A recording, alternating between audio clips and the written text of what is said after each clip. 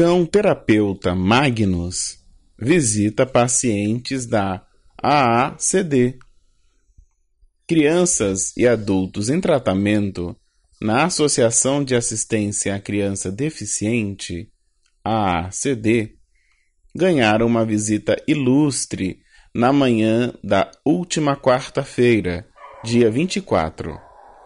Isso porque o Magnus, cão da raça Bernese, foi à unidade Ibirapuera da instituição e tornou a rotina dos pacientes mais leve e feliz.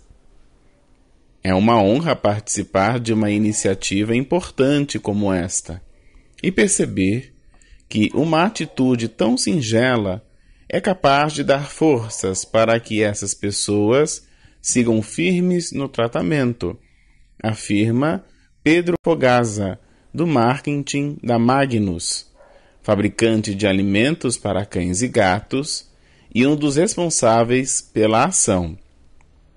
Essa foi a primeira de quatro visitas que o cão fará à instituição este ano. A raça Bernese é muito dócil, sociável e ideal para o convívio com crianças, também para a presença em tratamentos.